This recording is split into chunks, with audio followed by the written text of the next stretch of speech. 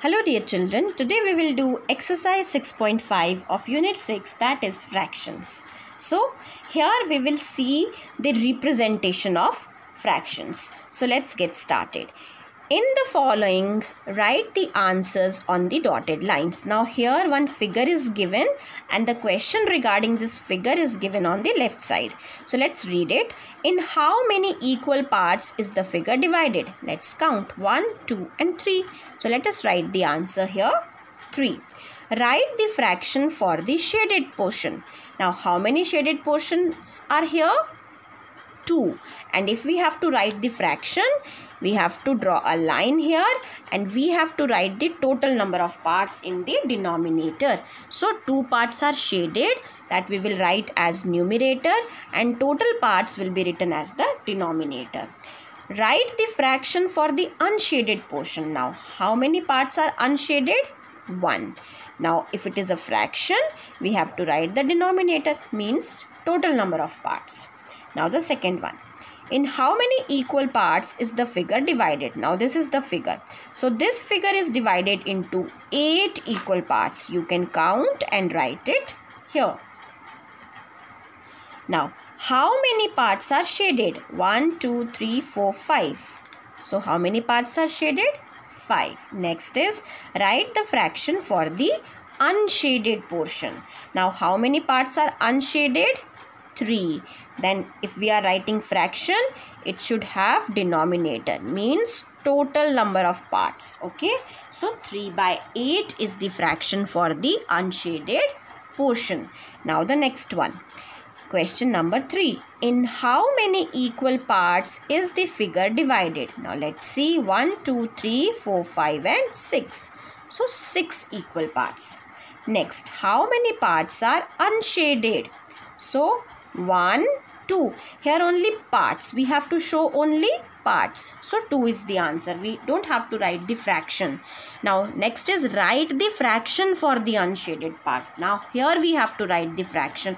And when we have to write the fraction it should have the denominator and the numerator. So unshaded part will be written above the line and total parts will be written below the line. So this is the fraction. Okay?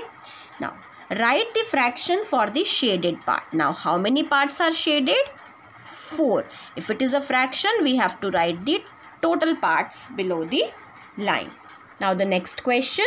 Question number 4. Shade 3 by 5 part of each of the following figures red.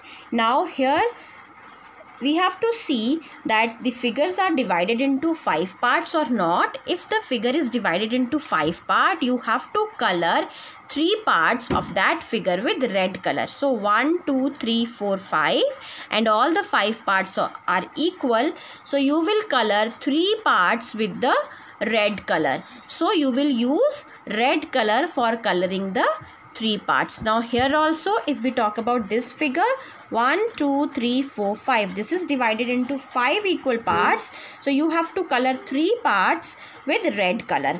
Now the last one also 1 2 3 4 5 this figure is also divided into five equal parts. So you have to color three parts with red color.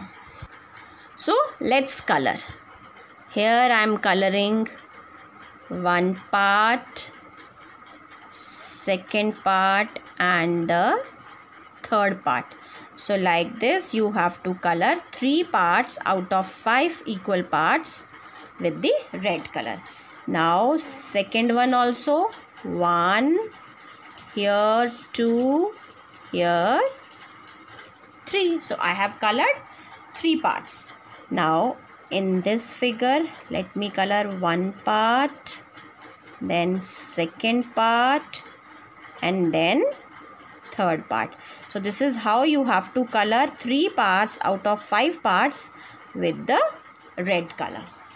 Now let's move on to the next question question number 5 shade 4 by 7 part of each of the following figures with green color okay? So here the figures are divided into seven equal parts. All these figures are divided into seven equal parts.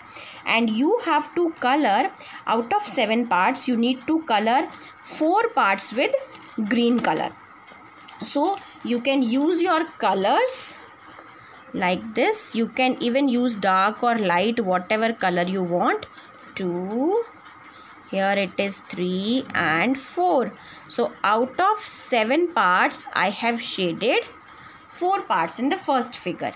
Now here also these are 4 parts. So I have shaded 4 parts out of total 7 parts. Now let me shade here. 1 2 3 and 4 this is how you have to shade 4 parts out of 7 parts with green color. You can use light or dark color whatever you want okay? So like this now, let us move on to the next question. Question number 6. Write the fraction for the shaded part in each figure. Now, how we write the fraction? Shaded parts are written as numerator and total parts are written as the denominator. So, denominators are already written. So, let us count the shaded part and write as the numerator. So, here 1, 2. Two parts are shaded. Now in the next figure 1, 2, 3, 4. 4 are shaded and total there are 12 parts. Now in the next figure out of 6 parts in fact 6 equal parts one part is shaded so it will be written here. Now in the next figure 1, 2, 3, 4. Out of 5 parts 4 parts are shaded. So dear students I hope you would have understood exercise 6.5.